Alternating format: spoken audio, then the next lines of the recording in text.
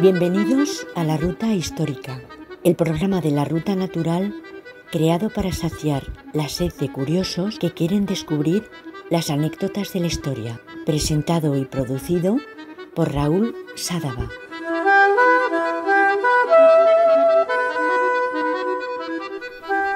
La historia de hoy es la de un europeo, un hombre trabajador y dedicado que partió a América con un sueño. Es la historia de muchos españoles, muchos portugueses y muchos marinos, hombres del Renacimiento que comenzaban a intuir que la vida ya no giraba tanto en torno a Dios, sino al ser humano. Hombres como esos hay docenas, docenas que con sus historias modelaron el viejo y el nuevo continente. La historia de hoy no es sobre un español y tampoco sobre el Renacimiento. Nuestro protagonista es un suizo. Un suizo enmarcado dentro del siglo XIX. Un hombre que viajó de este a oeste de lo que es hoy, lo que son hoy los Estados Unidos. Viajó a las islas Hawái. Llegó al lejano territorio de Oregón, se metió incluso en México, llegó hasta Alaska para terminar finalmente en Hierbabuena, el nombre que tenía la bahía de San Francisco antes de que fuera bautizada como tal como la conocemos en nuestros días. Él fue un aventurero, un pionero. Fue el hombre que comenzó a establecer las bases de California, un estado que si fuera un país tendría un Producto Interior Bruto similar al de Alemania, y de hecho sería la quinta economía del mundo. Él viajó, se cultivó y cumplió su sueño de conseguir una utopía agrícola y ganadera. Tras mucho sufrir, eso sí, y se transformó en millonario, a base de duro esfuerzo y trabajo constante. Sin embargo, Madre Fortuna dejó de sonreírle y le bendijo con su perdición, el oro. Y no porque su ambición o su avaricia por el metal precioso le hiciera perder la cabeza, hasta perder el imperio que había construido con sus propias manos. Al contrario, el oro, que se encontró en su propiedad, fue la chispa que desataría una fiebre que se extendió entre los hombres como un virus. Conocido en inglés como el Gold Rush, en español lo denominamos, quizás con precisión médica, como si de una patología se tratara, la fiebre del oro cientos, fueron cienes, miles de personas las que terminaron saltando sus vallas, destruyendo su propiedad, desmantelando sus cabañas, robando sus caballos, matando, comiendo y vendiendo su ganado. Él terminaría sus días en Washington, D.C., en la capital de Estados Unidos, pidiendo por sus derechos y exigiendo que se le devolvieran sus tierras y que se le indemnizara justamente por todo lo que se le había robado. Si bien consiguió con, con un esfuerzo, con diplomacia, con mano izquierda y con buen ojo todo aquello que se propuso en California como pionero, en la costa este, sin embargo, con los jueces y con los políticos, terminaría pasando más de una década luchando para no conseguir nada. En sus últimos días, pues paseaba por la capital, la capital del joven país, Washington DC, caminando con regularidad, paseos matutinos, pero tampoco nunca a demasiada distancia. Era eh, regular en sus hábitos, siempre se levantaba a las 4 en punto y se retiraba a las 8 de la tarde. Leía asiduamente revistas, periódicos, libros y podía hablar con fluidez inglés, cinco idiomas, inglés, alemán, francés, español e italiano. Fue presidente y miembro de la Sociedad de Pioneros de los Estados Unidos a quienes les escribió estas líneas como ocasión de una reunión que tuvo lugar el 20 de enero de 1879. Y les decía algo así como a mis asociados reunidos en Sturbenant House en Nueva York. Enfermo como estoy de corazón y cuerpo, apelando en vano al Congreso para que me hagan justicia y me devuelvan solo una parte de lo que fue tomado injustamente, ya guardo pocas esperanzas de éxito. También en esta sesión a menos que ustedes, mis amigos, por su influencia, puedan ayudar en mi causa. Por lo tanto, no podría alegrarme como su invitado esta noche. Y por esta razón no quería estropear su placer por mi presencia. Y termina diciéndoles recuerden los viejos tiempos sin mí. Esta es la curiosa historia de John Sutter y la fiebre del oro.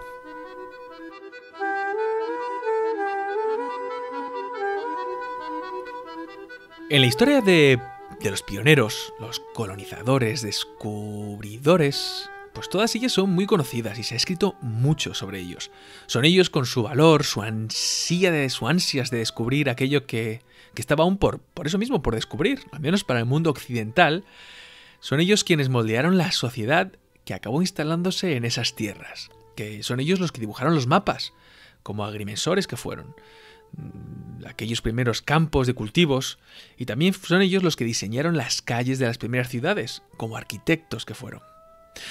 Muchos fueron para allá en busca de aventura, otros en busca de riquezas, muchos otros también fueron en busca de una tierra de libertad, donde poder profesar su propia religión sin ser perseguidos o señalados con el dedo.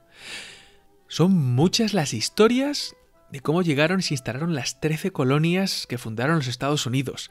La costa este de los Estados Unidos tiene de hecho mucha historia. Estados como Virginia, Maryland, Nueva York o Massachusetts forman la, columna vertebral de la historia de los Estados Unidos.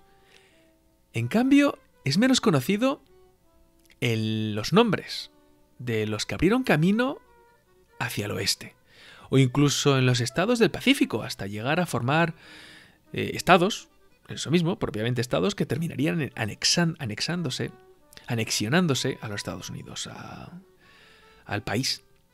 Lewis y Clark son, sin duda alguna, los nombres más representativos de la apertura del oeste por los colonos, al igual que los pioneros de la fiebre del oro, aquellos que los 49ers, los 49 que se llamaban, y todas sus aventuras y bueno, sus eh, eh, esperanzas y desesperanzas. Pero gente como John Sutter, nuestro protagonista de hoy, es parte de esta historia que se conoce un poquito menos, se estudia menos, pero que merece la pena que sea parte de las páginas de la historia americana. John Augustus Sutter nació en el año 1800 en el seno de una familia suiza, y ya desde muy temprano fue un aventurero, un alma inquieta, eso sí, en el viejo mundo. Allí tendría el mismo ansia por explorar y descubrir que el que tendría unos años más tarde en el nuevo mundo. Él salió de la escuela militar con 23 años y se casó con una señorita, una señorita joven llamada Anat Jubelt. Entró en la Guardia Suiza al servicio del ejército francés a las órdenes de Charles X. Carlos X. Bueno, que suene raro, esto de que un suizo vaya a un ejército francés, de hecho suena un poco como mercenario. En realidad no, la Guardia Suiza era un regimiento del ejército, del ejército suizo al servicio de los reyes de Francia. Al menos fue así desde principios del siglo XVII hasta 1830. Y Carlos X, para los curiosos, ya de paso, fue ese el último rey de Francia, el último Borbón que gobernó Francia. Y de hecho, cuando los Borbones eh, son depuestos del trono, de nuevo en Francia, eh, fue cuando ocurrió la Revolución de 1830. Bueno, mira, otra anécdota. Ahora que menciono la Revolución de 1830 en Francia, si tenéis en mente este famoso cuadro, uno de los, uno de los cuadros más famosos de la historia del arte, de Eugène eh, Delacroix, Eugène Delacroix, uno que se llama La libertad guiando al pueblo. Es un famoso cuadro que se enmarca que marca pues, una mujer en medio, medio desnuda, izando una bandera francesa sobre algunos cadáveres y con una muchedumbre detrás. Ese cuadro, ese es la representación más famosa de la Revolución de 1830. Y lo menciono porque muchos piensan que la Revolución, la Revolución guiando al pueblo, el título del cuadro, representa la primera Revolución francesa, la toma de la Bastilla, y en realidad el cuadro está ubicado temporalmente 40 años más tarde, en la Revolución de 1830. Bueno, como decía, llega la Revolución, Revolución de 1830. Los guardias suizos dejan de dar servicio al ejército francés y John Sutter vuelve a Suiza. Y allí se retira. Deja la vida militar con 30 años. Nació en 1800, estamos en 1830. Y es entonces, en ese hiato, en ese hiato de su vida, que, es, que ve que ha llegado el momento de dar un paso adelante. No se sabe si es la búsqueda de la fortuna o quizás la necesidad de revivir el espíritu aventurero militar lo que le lleva al nuevo mundo. Sin duda, Un suizo con amor por la libertad, lleno de ambiciones y de historias narradas de boca en boca que llegarían a todos los rincones del planeta sobre los, pues eso mismo, los nuevos estados del oeste de América, los estados del Pacífico. Probablemente, al igual que muchos, eso es lo que le movió hacia América. Sencillamente un caso más de un suizo retirado, un militar que desea que desea fundar una colonia suiza en América. Uno más de los cientos que posiblemente cruzaron el Atlántico con la misma ambición.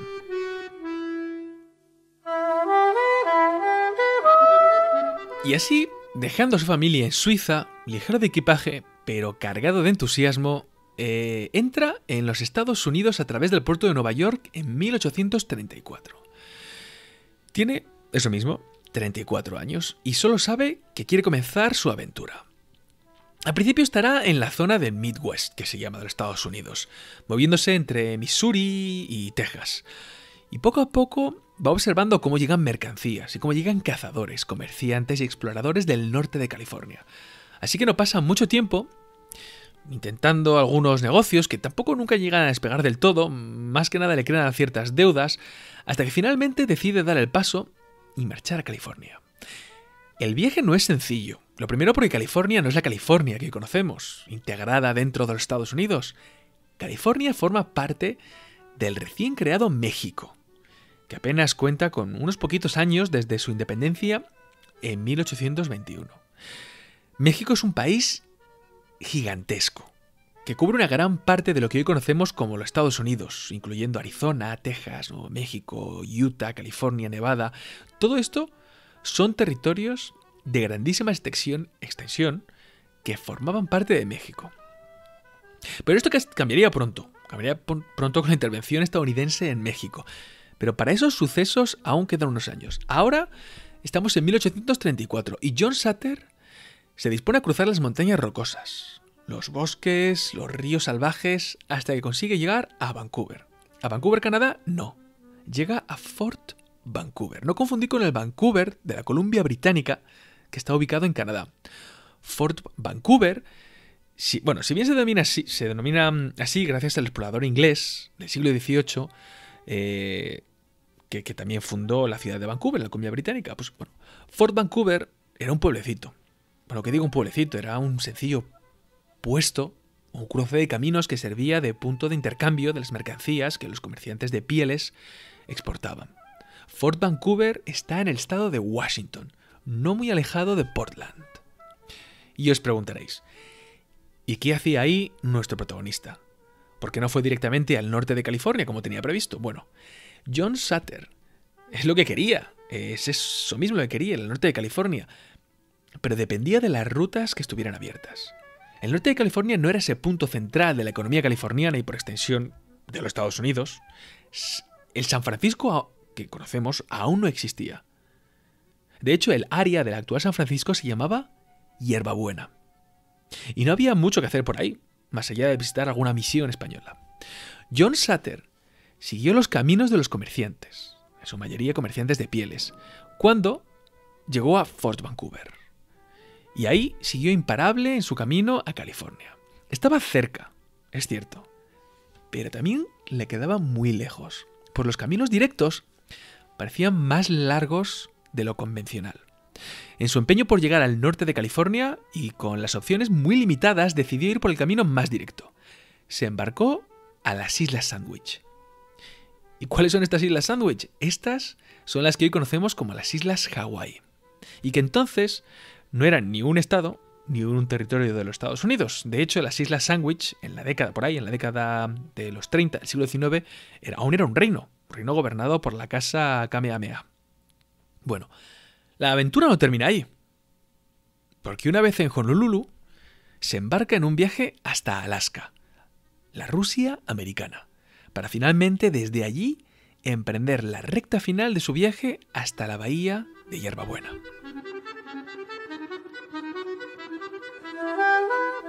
Estamos en 1839, en el suelo de lo que sería una de las tierras más cotizadas, más caras y con mayor Producto Interior Bruto del mundo, San Francisco.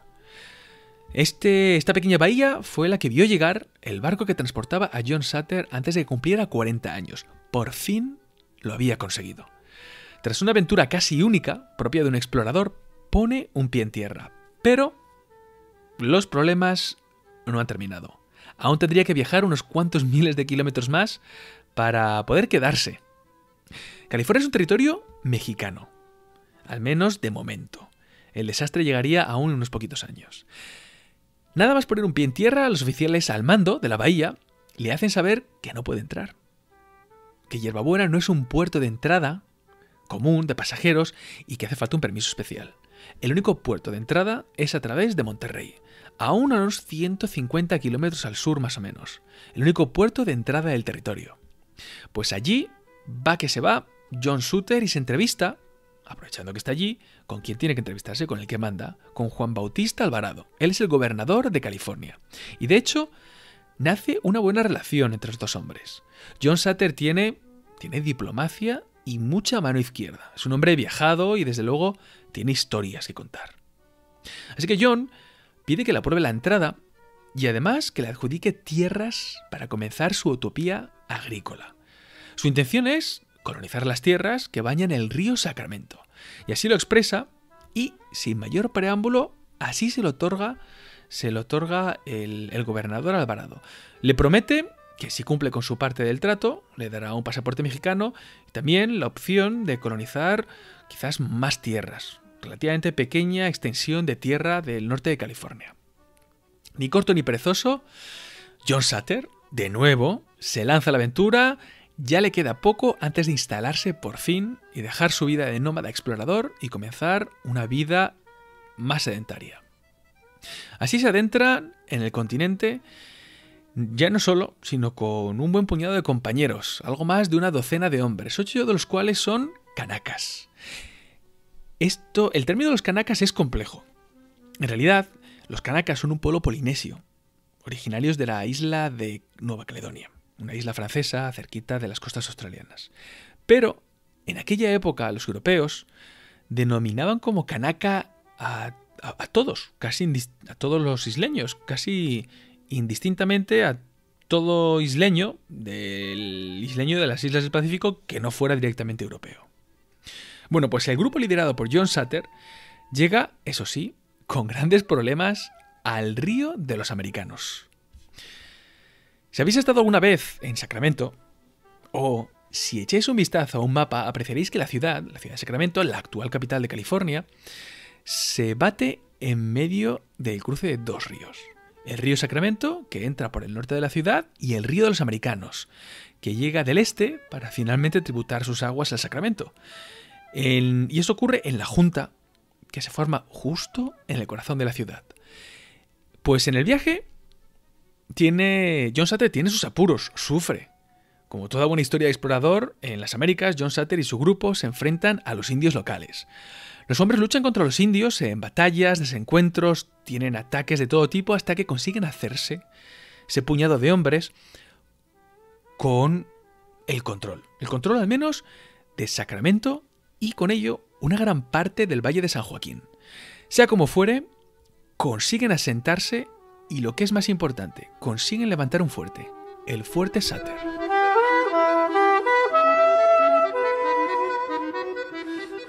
Ya ha pasado, ya ha pasado un tiempo. Y John Sutter y los suyos se encuentran bien asentados entre las cuencas de los ríos Sacramento y el río de los Americanos. El Fuerte Sutter es un lugar donde se puede hacer vida y se transforma de hecho en el centro neurálgico de los trabajos y los sueños de Sutter.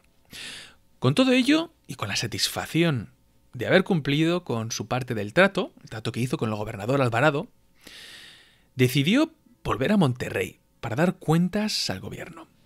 Alvarado, satisfecho con que las tierras estaban siendo aprovechadas, los colonos estaban instalados y al fin y al cabo eh, eso es lo que supone el primer paso para el tránsito de mercancías, comercio, luego crear él como gobernador, pues si hay comercio de mercancías, bien tendrá que poner un impuesto y por lo tanto tendrá sus propias riquezas como gobernante. Así que satisfecho, de buena gana, le entrega a John Sutter la nacionalidad mexicana una extensión de terreno, además, nada despreciable, que ocupa 11 leguas, una tierra que John bautizaría como Nueva Albecia, en honor a su tierra natal. 11, leguas es una medida de distancia, no es una extensión. No son metros cuadrados, es una, longitud. Eh, y que si bien varía dentro de cada país lo que es una legua, y bueno, cada país y cada región suele traducirse por... varía, pero suele traducirse por lo, la distancia que uno es capaz de caminar durante el espacio de una hora. Eso viene a ser una legua, así de manera con dos brochazos. Es posible que las 11 leguas fueran el equivalente a 50 kilómetros de longitud. Pero bueno, ahí no se quedan las cosas. La nueva Albecia seguirá creciendo y no tardará en ponerse, en ponerse manos a la obra John Sutter en, en su empeño. El imperio ruso, la Rusia americana que mencionaba hace un momento, está justo ahí al ladito. El imperio ruso que se extendía más allá del propio continente ruso, acabaría con los años atravesando el estrecho de Bering las Islas Aleutianas y llegaría hasta Alaska.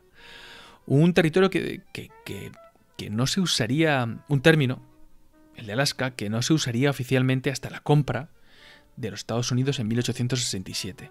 Hasta entonces era la América rusa.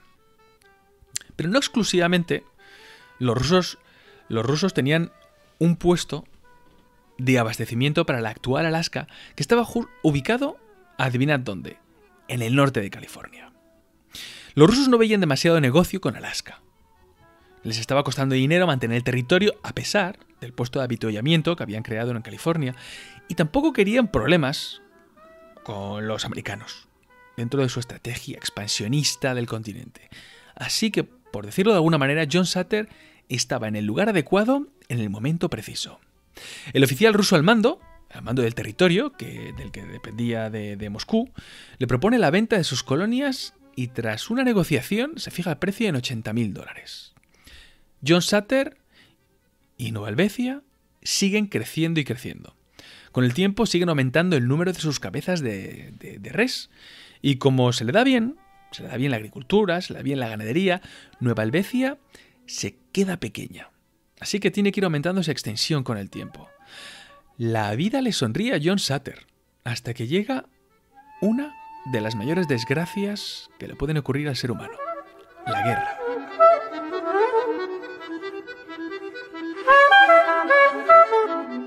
En 1847, los Estados Unidos entraron en México. Entraron en México por el puerto de Veracruz y desde allí comenzaron una, una exitosa campaña que les llevaría hasta la propia Ciudad de México.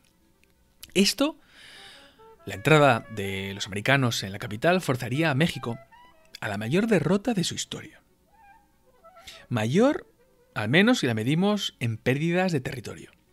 La historia comienza unos años antes de 1847, muy poquito, unos meses antes, en 1846, y se centra en el estado de Texas. Un estado que de facto ya era independiente, pero que políticamente formaba parte de México. Aunque una parte de su población, la de Texas, los tejanos deseaban anexarse unirse a los Estados Unidos como un Estado más. Las razones son varias. Por un lado, el desequilibrio político en México. También la independencia de, Texas que se había declarado. El expansionismo de Estados Unidos. La gran problemática y el casus bellis nace a raíz del arresto del que entonces fuera el general, general del ejército mexicano, el general Santa Ana. Fue arrestado por parte del ejército de Texas. Bueno, allí, mientras Santa Ana, que es general del ejército mexicano, está arrestado, lo obligan a firmar el tratado, el llamado Tratado Velasco, en el que se terminan las hostilidades entre tejanos y mexicanos y ponen la frontera, se establece una frontera en el estado de Texas, en el Río Grande del Norte.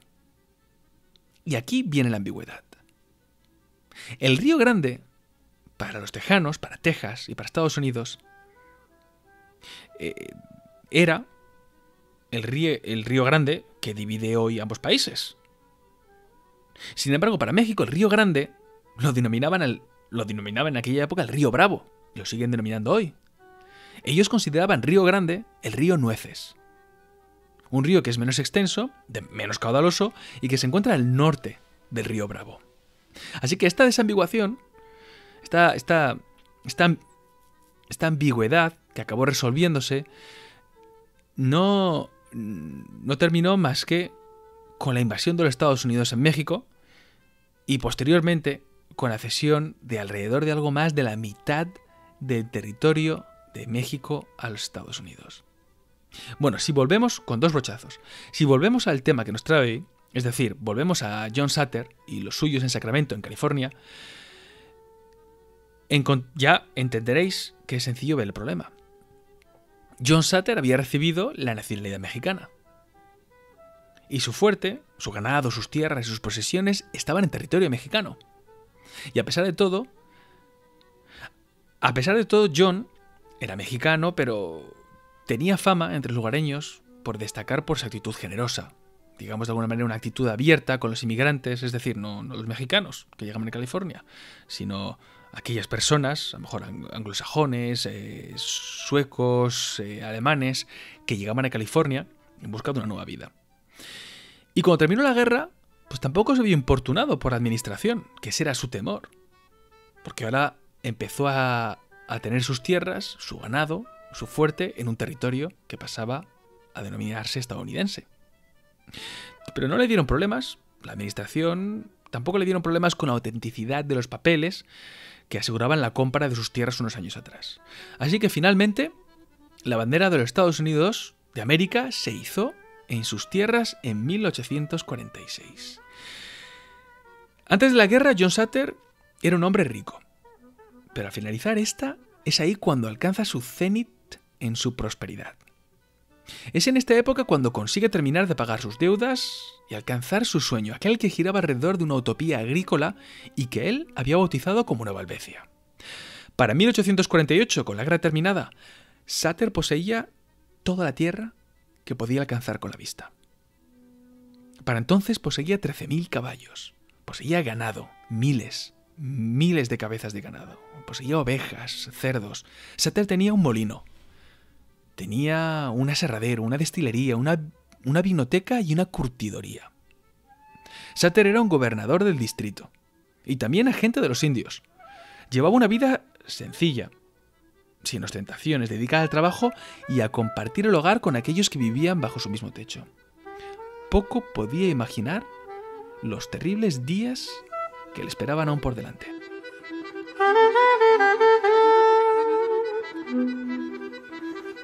A partir de aquí, nuestra historia adquiere un nuevo protagonista, un hombre que estuvo en el momento equivocado en el lugar erróneo.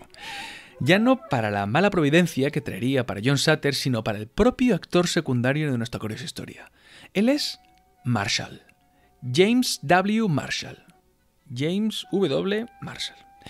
Él era un soldado de fortuna, un emigrante del, este, del este de los Estados Unidos, de su original Nueva, Nueva Jersey, que acabó finalmente en California, pues como cualquier otro buscador de, una nueva vida. Pues al igual que todos, pues buscando un sueño, buscando fortuna, buscando una casa, un lugar al que llamar su tierra y su hogar. Marshall comenzó trabajando para una granja, hasta que al comienzo de la guerra con México, pues al comienzo del conflicto se presentó como voluntario. Y al volver a su casa, se vio en la ruina. Ya no tenía nada, no le quedaba nada de lo que había construido, no tenía nada en su granja. No le quedaba casi granja, ni, ni caballo, ni reses, nada de nada. Así que Marshall, sin más opciones, llamó a la puerta de John Sutter y le pidió trabajo. Marshall era una persona ingeniosa, era un mecánico capaz de arreglar y reparar casi cualquier cosa si le daban tiempo y las herramientas adecuadas. Así que trabajando para el equipo de John Sutter, se le pidió que por favor buscara el lugar donde comenzara la construcción de un molino de agua. La exploración de Marshall lo llevó hasta, unas, hasta un lugar, un lugar que está a unas 40 millas en el río de los americanos, 40 millas del fuerte de Sutter en un punto llamado hoy Coloma.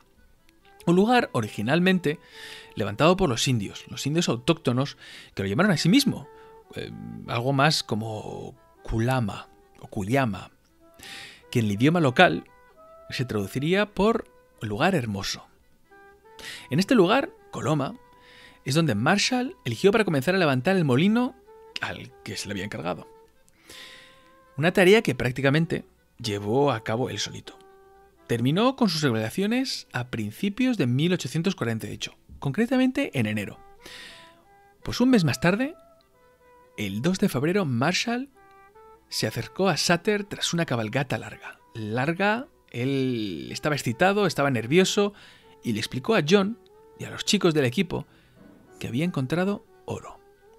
Una pepita de oro que le mostró a todos cuando se la sacó del bolsillo. En aquel momento nadie se volvió loco. Lo primero que permaneció intacto fue la razón. Si es oro, se dijeron, habrá que probarlo. Se dispusieron a hacer la prueba de, la autenticidad. Una prueba que es muy sencilla y ya para el siglo XIX era muy conocida por todos. Lo que se trata de mezclar bicarbonato con unas gotitas de limón. Y esa mezcla la frotamos sobre la pieza, la pieza que, pretende ser de oro. Ahora, cogemos un paño, lo mojamos, limpiamos y secamos la joya con, con, ese trapo, preferiblemente de color blanco, y si el paño blanco se pone negruzco, entonces es que no es oro puro. Si el paño blanco se queda inmaculado, incólume, con el mismo color, entonces ese es el es oro original. Estamos en 1848 y con esta demostración empírica comienza el descubrimiento del oro en California. Y con ello no tardaría en subir las temperaturas hasta alcanzar la fiebre la fiebre del oro que traería a miles de hombres, los 49ers, los 49, en nombre al año en el que empezó realmente la inmigración, en 1849, que por cierto hoy los 49ers dan nombre a un equipo de fútbol, el, equipo de fútbol americano de San Francisco concretamente, son los San Francisco 49ers.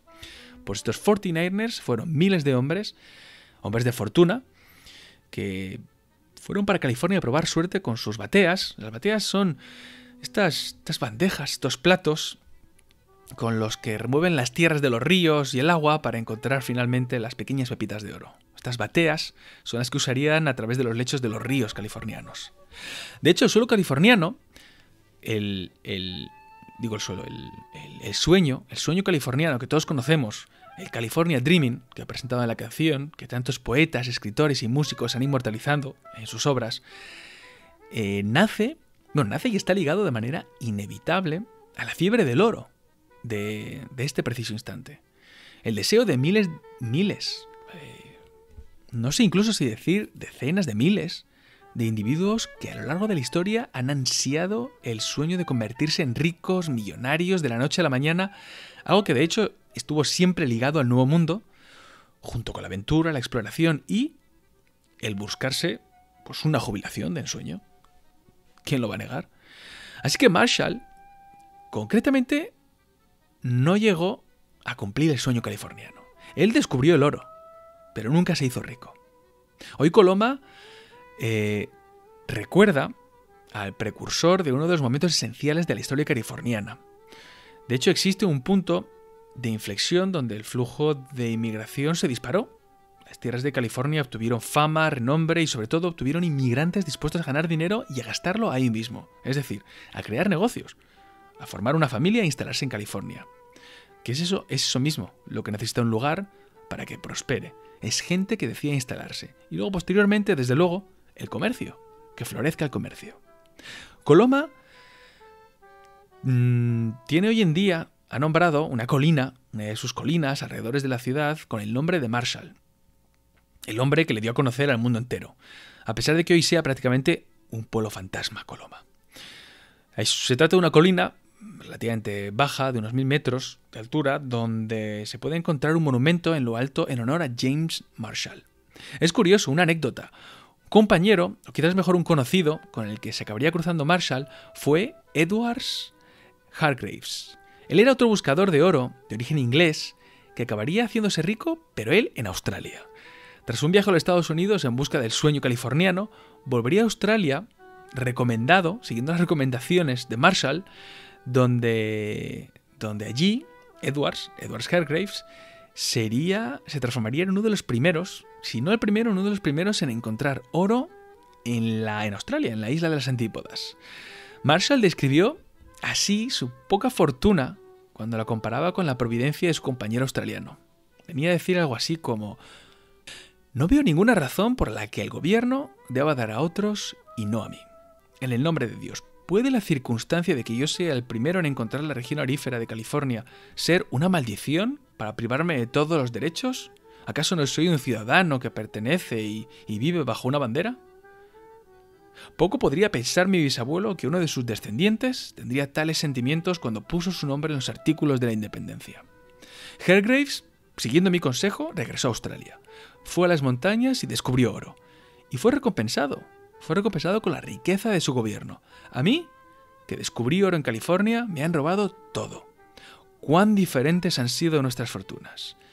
Él puede bendecir a la nación bajo cuya bandera nació, y yo ¿Debería maldecir a la mía?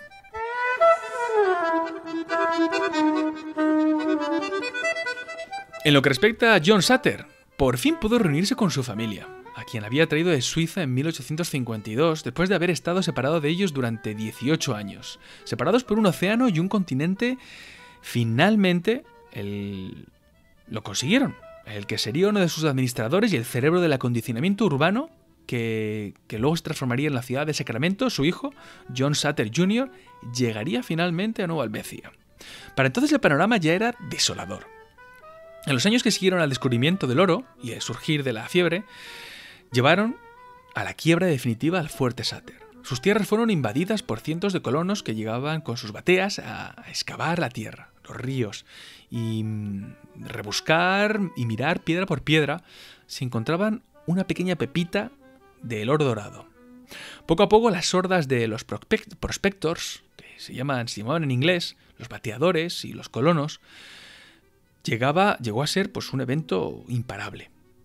Si bien al principio John Sutter intentó pues, crear un negocio pues, para vender y proveer de herramientas de las útiles, ciertas necesidades básicas pues, a los colonos que, que llegaban y que pronto enseguida se vio sobrepasado.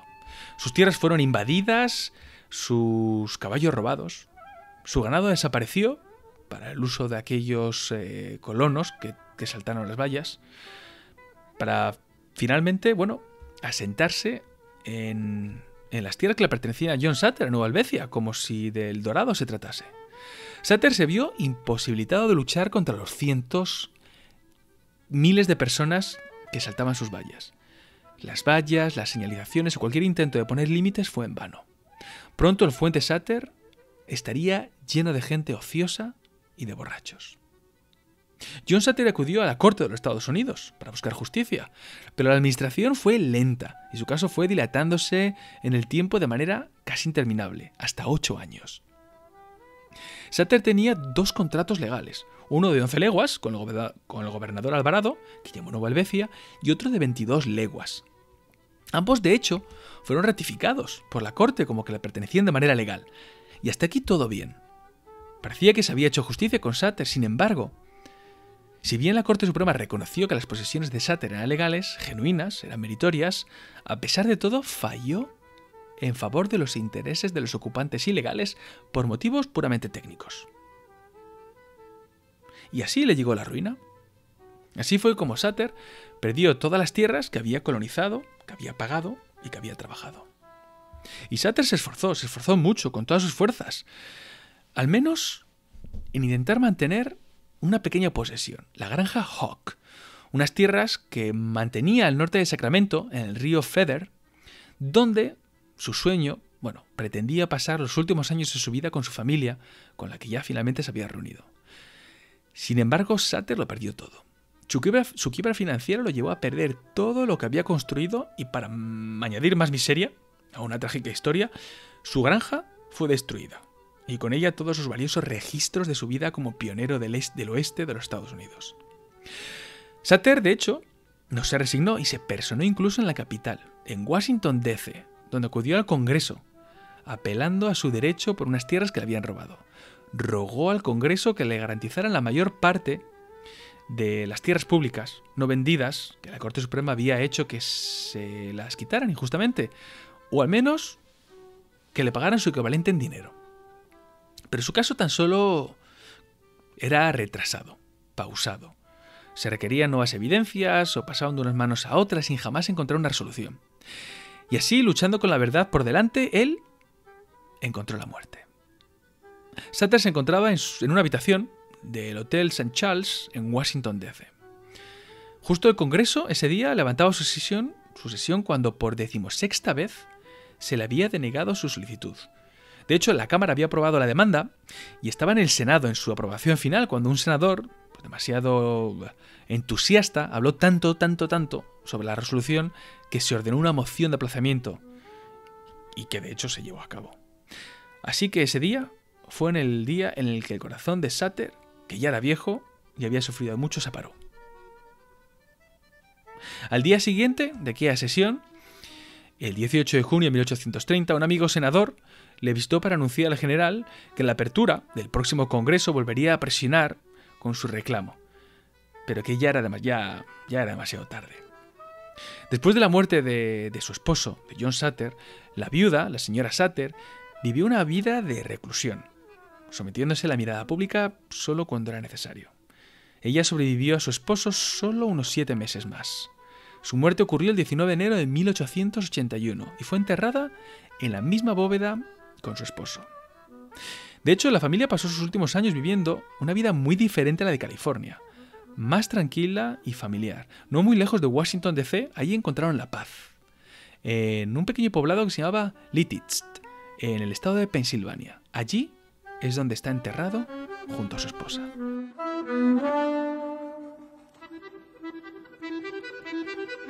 Con el tiempo, la ciudad de Sacramento creció y el fuerte Sutter se restauró y fue entonces cuando una asociación de California llamada los Native Sons of the Golden State, los hijos nativos del Dorado Oeste, pidió el traslado de los restos del general a California. Concretamente, dentro, querían trasladarlo dentro del fuente Sutter, que ahora ya era propiedad del Estado de California y quien era el encargado de mantenerlo. Pero para ello era necesario el consentimiento de los descendientes. Y estos, a pesar de, las eh, diferentes demandas, peticiones que recibieron, no dieron su visto bueno a la propuesta. Estaban convencidos de que, en vista de las amargas circunstancias en que su progenitor había dejado California, que preferirían, pero con mucho, que sus restos descansaran en la pacífica ciudad donde disfrutó de sus últimos días en el estado de Pensilvania, en Liszt.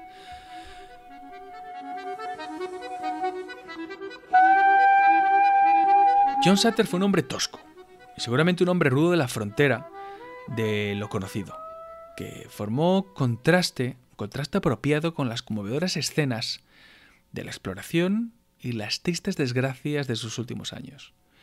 Fue un pionero de naturaleza generosa, benévola y hospitalaria un espíritu indomable como el de muchos de los que en aquella época comenzaron a poblar el norte de California.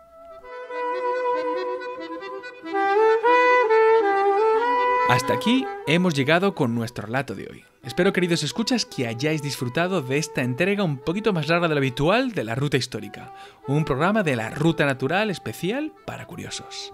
Ahora disfrutad del dibujo histórico que nos ofrece Fer, Monigotes sin Fronteras, para el programa de hoy y que los escuchas de Evox pueden degustar en la sección de comunidad del podcast.